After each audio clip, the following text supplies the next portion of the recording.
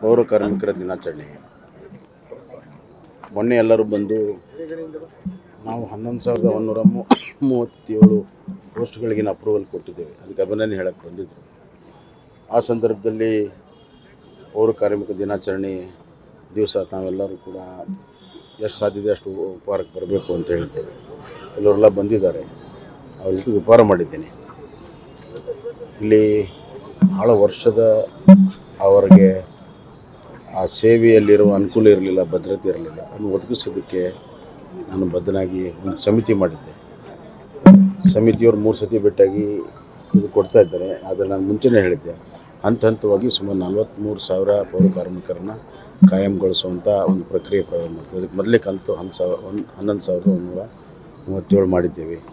ಎರಡನೇ ಕಂತು ಮತ್ತು ಮೂರನೇ ಕಂತಲ್ಲಿ ಪೂರ್ತಿ ಮಾಡೋದಕ್ಕೆ ತೀರ್ಮಾನ ಮಾಡಿದ್ದೇವೆ.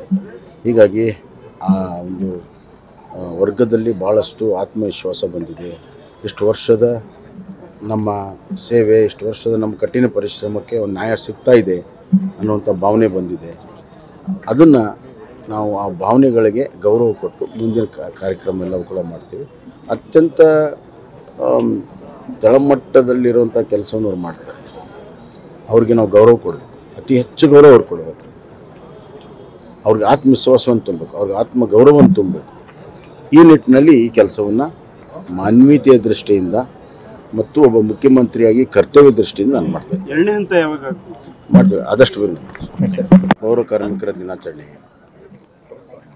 ಮೊನ್ನೆ ಎಲ್ಲರೂ ಬಂದು ನಾವು ಹನ್ನೊಂದು ಸಾವಿರದ ಒಂದೂರ ಮೂ ಮೂವತ್ತೇಳು ಪೋಸ್ಟ್ಗಳಿಗಿನ ಅಪ್ರೂವಲ್ ಕೊಟ್ಟಿದ್ದೇವೆ. ಅದಕ್ಕೆ ಅಭಿನಂದನೆ ಹೇಳಕ್ಕೆ ಬಂದಿದ್ದರು ಆ ಸಂದರ್ಭದಲ್ಲಿ ಪೌರ ಕಾರ್ಮಿಕ ದಿನಾಚರಣೆ ದಿವಸ ನಾವೆಲ್ಲರೂ ಕೂಡ ಎಷ್ಟು ಸಾಧ್ಯತೆ ಅಷ್ಟು ಉಪಹಾರಕ್ಕೆ ಬರಬೇಕು ಅಂತ ಹೇಳ್ತೇವೆ. ಕೆಲವರೆಲ್ಲ ಬಂದಿದ್ದಾರೆ. ಅವ್ರ ಜೊತೆ ಉಪಹಾರ ಮಾಡಿದ್ದೇನೆ.